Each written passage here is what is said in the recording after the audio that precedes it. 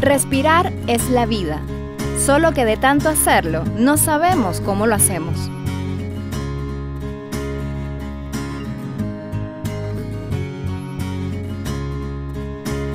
Respiración consciente. La distinción entre las dos formas de respirar son herramientas fundamentales en el trabajo de conciencia corporal para el trabajo de parto te invitamos a respirar conscientemente. Colócate en posición inicial, sentada, con la espalda recta y las rodillas flexionadas.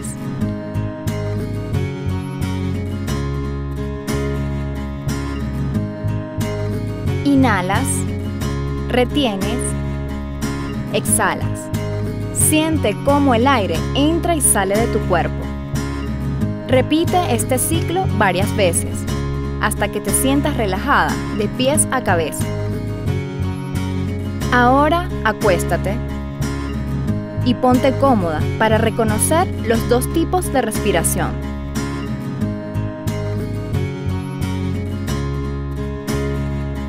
Respiración torácica. Cruza las manos en tu pecho. Inhala por la nariz. El aire llegará hasta el pecho y solo expande el tórax.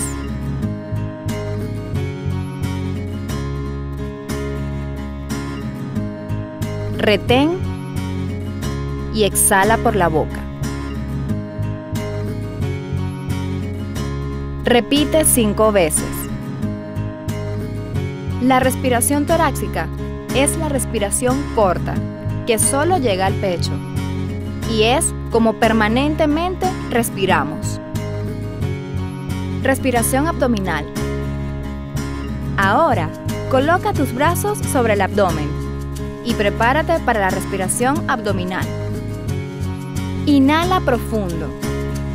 El aire esta vez llega a la parte baja del abdomen, inflando la barriga. Retén y exhala por la boca. Esta es una inhalación parecida a cuando suspiramos profundamente.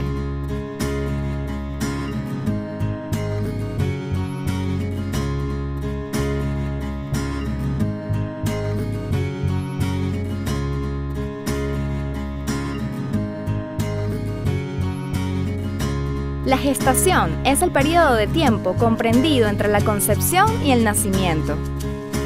Durante la gestación experimentarás cambios y para ello debes conocer qué ocurre en esta etapa de tu vida. Los cambios más visibles que experimenta tu cuerpo son el tamaño del útero, cambios hormonales, la digestión, la respiración y la circulación de la sangre. Se considera bebé a término entre la semana 37 y la 42 de la gestación un embarazo de menos de 37 semanas se considera pretérmino. Al centro asistencial debes acudir si expulsas un flujo mucoso sanguinolento o un líquido claro por rompimiento del saco, o en caso de tener contracciones regulares y dolorosas cada 5 minutos o menos.